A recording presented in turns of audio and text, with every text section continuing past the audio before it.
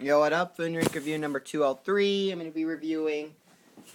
Um, um, let me get my light on. A little bit behind this time. Sorry, a little bit behind what I was expecting. Hold on. Let me get something to anything to turn on the light.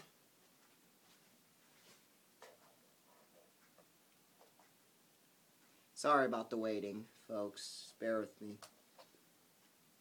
Oh, seriously? Oh, seriously?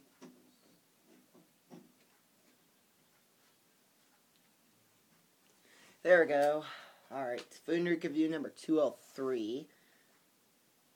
I'm going to be reviewing, um, got Pizza Hut today, reviewing Pizza Hut, um, um, feta cheese and sausage pizza, Hut pizza, um, here's what it looks like, very nice, um, nice cheese, um, tell feta cheese, my favorite cheeses, and nice little bacon bits, kind of like bacon bits and a nice cheesy crust. Go with it. It's made the ch- the crust nice and cheesy this time. I heard, and yeah, look at all that cheese. So, anyways, um, go ahead and smell this. No nutrition facts, obviously, or anything like that.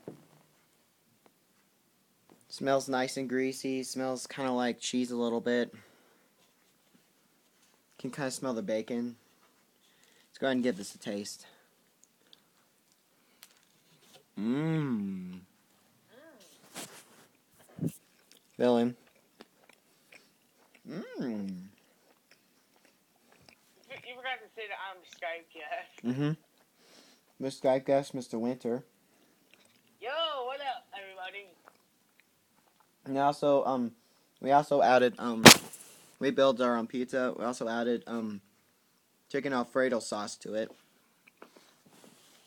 Very nice. The bacon bits are very crunchy, addicting. Um, very nice sauce, very creamy, tender. And the cheese is very, um, cheese very gooey. Here's some more of the sauce. Look at that. Looks good or what? Anyways, let's go ahead and have the crust. See what it tastes like.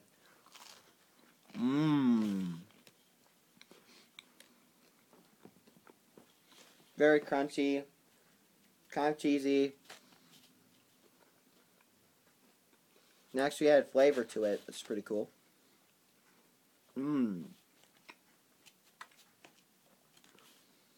Overall, very addicting.